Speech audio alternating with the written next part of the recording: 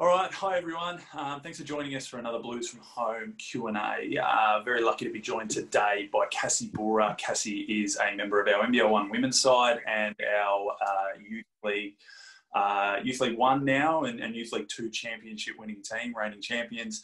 Um, most of you will know Kassie. She's also a, a, a, coach in our junior program, coaches in our development programs. Um, she's just heavily involved in, in the fabric of, of what makes Frankston basketball Frankston basketball. And um, we, we love her at, at Frankston basketball, and, and we're really lucky to be joined by her today to have a chat about her pathway to the US. So, Kassie, thanks very much for jumping on with me today. No problem at all. Thank you for that amazing intro. no problem. You deserve it. So, I guess what we want to touch on today a little bit, and we've been using these Q and A's as an opportunity, not just to, to tell your story, but also to, to talk about you know your profile and, and what you've been doing, and, and I think it's an important story to tell because the the US college pathway is is obviously a really popular pathway for athletes and a really um, I think a really important one for Australian athletes still. Um, obviously, the latest situations meant that that's been thrown into a bit of disarray, but I think hopefully things will get back to normal and that pathway will still be a really good pathway that we want to continue to um, explore for you know opportunities for our juniors and resource it however we can make sure that the information that they need is available to them because sometimes it can be a bit tricky getting that information um, we were lucky to have Damien Smith from Australia Basketball, Basketball Australia Pathways, excuse me, um, on for a Q&A in the last block of Blues from Home. Um, and he told us about things from an administrative perspective, but I'm really interested on getting your thoughts now as someone, um, you know, who, who thankfully is about to go over about what that process has been like with you. So we'll backtrack, we'll go back, and I want to start from the beginning. So you, you don't have to go right back, but you can tell us where you started playing basketball and to take us up to the point where college became um, something you realised you wanted to do. Yeah, so I've been at Frankston since I was a bottom age 12 and um, I've always loved the sport. It was something that like really like was important to me. I've always like full on played like every week. I never miss a training or whatever. If I felt like I missed a training, it was like I missed something of myself. But um, I first brought, I got introduced to the idea of college in under 16s from my coach Cameron McCormick and he came up to me and he brought up the idea saying that like I actually have a real good shot of like having a great like career up there. He thinks that like back then even that like my worth ethic and like my talent would get me far. And I never thought of it before and he brought it up and I was just like, oh, okay. So it just it's stuck in the back of my mind for a couple of years because it was just the idea of leaving the family, leaving my friends. It was, you know, it's a hard decision to think about, like leaving for four years. But um, it was year 11, so I was bottom age 18s, bottom age 18s, where I made this, the decision. I'm like, okay, yeah, I want to go. So that's when I started off my process. And um, I started, well, with Youth League, our games were filmed. So for anyone that wants to like become a, like want to go to college, make sure you get a couple of games filmed so you can have a couple of highlights so I made a couple of videos. I wrote like a bibliography. I wrote a letter and I sent them out to some coaches just to get the word out there that I wanted to, you know, do it and like see what the response would be. And it was last year, um, my our assistant coach Brent Andrews uh, for NBL One. His sister was a coach of Cameron University, and I didn't know he knew I wanted to go. And um, he went off and he sent her my highlight video and said, "Oh, check out this kid. Like she works hard, and she's like, I think she'll fit in well." So that happened, and she said, "Oh my God, yes, please, like give her my number. I want to get in contact with her." So he sent me a message saying, "Here, here's a number for a college. Um, she's really great. It's actually my sister." and like, so I got in contact from like them from him, and it was like I'm really grateful for Brent for doing that because you know it's it's I ended up choosing that college over the other ones. So I got in contact with her in 2019 around April May. I think that was when I first got in contact with her, and um, we've just been kept in contact throughout that whole year. She always kept in saying, "Oh, how are you going?" Like, oh, and she brought up a couple more points of like about the school, and she was just lovely. She wanted to meet my parents. She wanted to like see the family, see where I came from, you know, because culture and like is really important for her over there. So, and that's what made me draw into that college more. Really, was because you know I'm I've got a close family. I want to be like feel like I'm not an outsider. I want everyone to be like close, like at Frankston. Like everyone at Frankston's close as well. That's why I love the club so much. So I felt like when it came to choosing between colleges, I looked at them all, and then just Cameron just seemed to be the one that like drew me in most. So yeah, that's probably my whole thing about it. yep. No, that's good. So a couple of points I want to focus on there. Um, and for those that aren't aware, Kassie's signed to go and is going over to Cameron University, which is in Oklahoma. That's a Division Two, I believe, NCAA Division Two school. So really, really high standard, um, not only basketball but education as well, which is which is obviously a big part of what you're going over for. But uh, correct me if I'm wrong. They're in the Lone Star Conference, Division Two Lone Star Conference. Yep. yep so really strong. That's a really strong conference. You'll be playing against a lot of um, schools in Texas as well, or sorry, yeah, you'll be playing against some schools in Texas, um, West Texas, uh, West Texas A&M, which is where our import from last year, David Chavlovic, uh, played. So yeah, that was that was fun um, to sort of have that little connection there. That, that he'd obviously played a lot against Cameron. Um, it's uh, it is a really good standard conference of like basketball. I've seen a bit of it. I went to JUCO in, in uh, West Texas, which is where um, yeah West Texas A&M is. So we would watch A&M games pretty regularly, and um, yeah, it's a terrific standard, and it must be very exciting um, for you to be now heading over. Um, so I want to talk a little bit about that, but first I just want to touch on a couple of points that I think are really important, and I think are really um, critical for our juniors to understand, because they probably look. Sometimes there there is a bit of a misconception. They probably look at you um, and some of our other NBL one players and youth league players and just think, oh, you know, they're just absolute superstars, which you are. And they probably just think, oh, they, they, they probably just got, you know, recruited. You know, the phone would just be ringing and, and American colleges probably just found them and reached out to them. And um, I think it's important to press on the fact that you, you basically, you took control of the situation. You said, no, I want to go to college. Um, that's a pathway I want to explore. So I need to start looking at what classes I'm taking to make sure I'm eligible through the NCAA clearinghouse. Uh, I, I, need to get highlight tapes. I need to make sure I'm playing a standard and I'm working hard enough to be able to play a standard that the highlight tapes are going to be recognizable, you know, so Big V Youth League, things like that. Um, and then you put the highlight tapes together yourself and, and essentially contacted schools yourself. You obviously had a good connection through Brent and his sister that ended up you know working out for you but had that not have happened you would have still had offers and maybe had opportunities to go over regardless. So um, i think that's that's really important that not every kid gets recruited them like they don't have to just sit there and wait for the phone to ring. That's that's a really important fact. If you want to go um, there's a lot of schools over in the US and, and that you can cold call and contact and make it happen if you want it bad enough.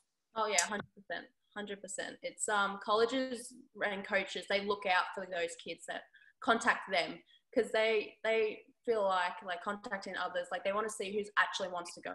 So if you write a letter explaining who you are, what position you play, and why you want to go to college, that really stands out to them. So 100% do that. You don't have to be like recruited by them. Like they they don't have to contact you. You can contact them if you want.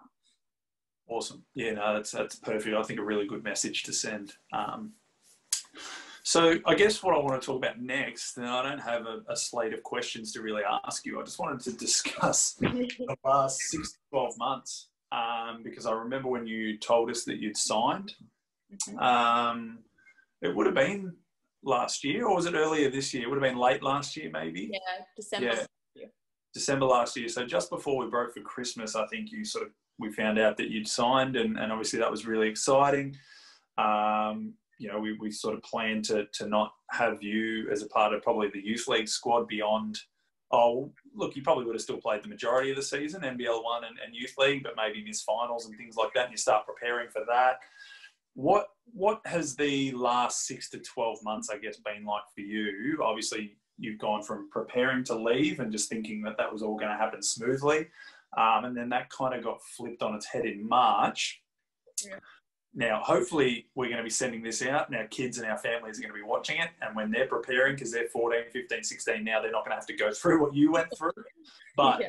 tell us a little bit about that story. Tell us what you did, not just in terms of staying engaged in the process, really making sure that if the opportunity came up for you to go, you took it. Um, but just mentally and, and also physically, how did you stay prepared and how did you stay on the right track? I think that's really important. I'm not gonna lie, it was hard. It was hard because I was supposed to leave in the beginning of August, and when COVID came around, it was like a big like scare, really. And I kept in contact with my coach, and we just like put it off of uh, like deferring or anything because it was like we know you it'll, it'll go away by August. It'll go away by August. So I just have to keep thinking that, just saying I'm still going. Like I'm not gonna let this put me down and think, oh no, I'm not gonna go. So throughout the first lockdown period, I tried to keep as fit as I could, not just physically but mentally as well. I made sure that like I got outside. I didn't just stay in the house. I went for walks. I did my runs. you know, try to keep fit because in the back of my mind, I was still like, I still need to go to college and prove what I can do. So I can't go over there and be, you know, not myself, not like unfit or whatever. I have to keep that mentality. So that was my goal. And um, when it came to the very beginning of August, um, I sat down and had a chat with my coach and the school, and we were talking about it. And it just, I didn't have my visa appointment at that time. It got cancelled, I think, two times by that point.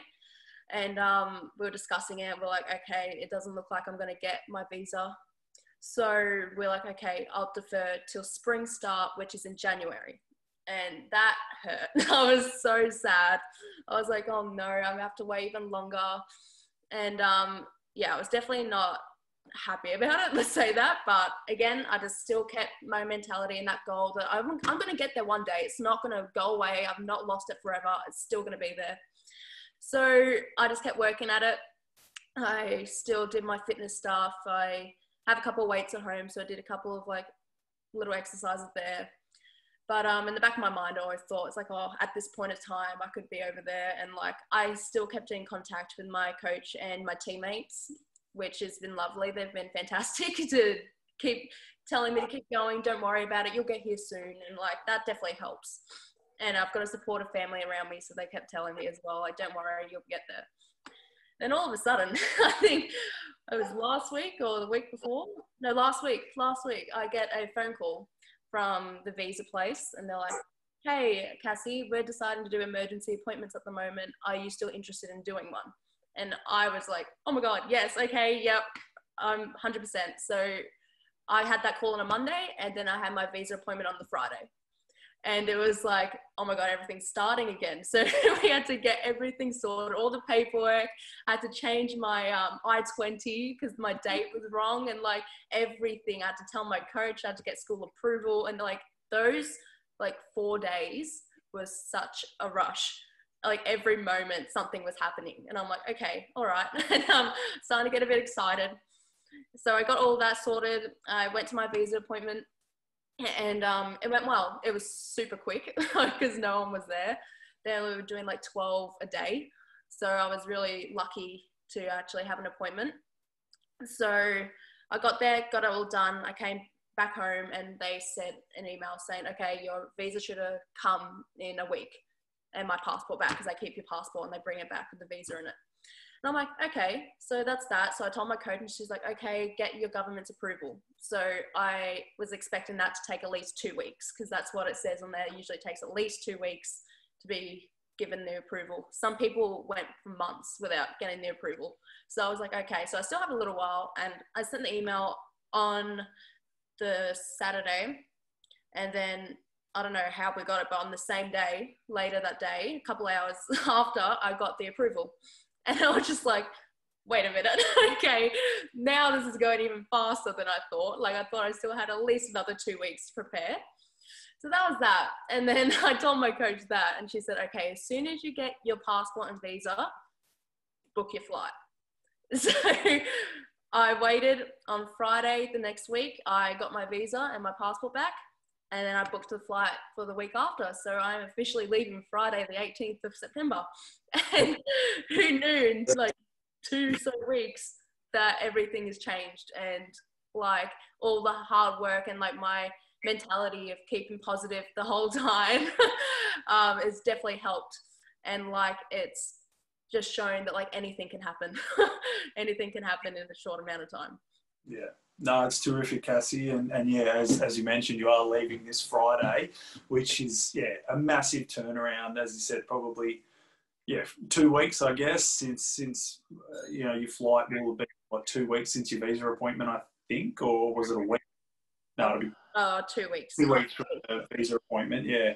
So yeah, all happened pretty quickly, but as you mentioned, staying positive, making sure you didn't have that sort of you know, let it get you down, that victim mentality, like, oh, you know, you just sort of write it off and maybe it's maybe it's not meant to be. Um, you know, don't leave anything to chance. You sort of make your own luck by keeping the right attitude and um, and continuing to work hard. So, look, it's um, it, it's an incredible um, it's an incredible story. I think, like the last couple of weeks and even the last sort of six six to twelve months since you did sign to go to Cameron. So, um, we really appreciate you coming on and, and telling us about your story and, and letting us know what you've been through because it is it is difficult. There's a lot of ups and downs, and um, yeah, you know, anyone could be sort of mistaken because you're just always so upbeat and smiling and happy. And but there have been some tough times. It's not all been real, like it hasn't all been easy, and it wasn't all just sort of handed to you on a silver platter either. You had to go out and make a lot of that happen yourself. And I think that's really, really important to press on again. The fact that you were able to do that. Um, you know, you obviously had help along the way and you had a lot of support, but essentially you were the one that made it happen. You didn't sit back and say, oh, you know, maybe this coach hasn't contacted me, so they're maybe not that interested, or oh, you know, I haven't heard from visa, or I haven't heard from immigration. No, you you went out and you knocked down the door basically and made it happen. So, um, look, just on behalf of everyone at the club, at Frankston Basketball, Frankston Blues, you know, we absolutely adore you. You do such a terrific job on and off the court. Um, and we're just so happy for you to be getting this opportunity and getting to go over, um, you know, not too soon, not too far after when you should have been really going over. So, um, congratulations on behalf of all of us. Um, thank you for everything you've done um, during the, the, the, multiple lockdowns now. Um, I know you've still been engaging with, with your team from last season, but you've also been working with the whole program offering you know you know most recently doing the hoops fit and and volunteering and jumping on and doing that stuff which is really special for for um, to have our senior players still involved in in that pathway. And and you're not alone in that. There's a lot of great um, players doing that. Abby and and, and tori and, and the likes are all doing a great deal of work for us. Um, so thank you very much. Um, we'll let you get back to it because I'm sure, yeah, you, are sort of counting down the days, but probably also still pretty hectic trying to get get everything packed and get ready for Friday. So um, we'll still have you Wednesday morning. I think you're still going to be able to do. Yep. So the last the last hoops fit session. Um, hopefully it's the last one ever. Hopefully we're we're done. We're back in the stadium by the time you come back next time. And um, but yeah, no, from from all of us here, best of luck um, and and safe travels. And for anyone that's listening and tuning in, jump on on uh, Wednesday morning and and uh, say farewell and, and good luck to Kassie. Oh, thank you. And for anyone that has any questions about or anything, if they need help with what to write or what to put down, like please feel free to send me a message. I am more than happy to help because it's a great opportunity for everyone to have a go at. Awesome. Yeah. Thanks very much, Kassie. Really appreciate your time. No problem. Thanks. All right. Yeah.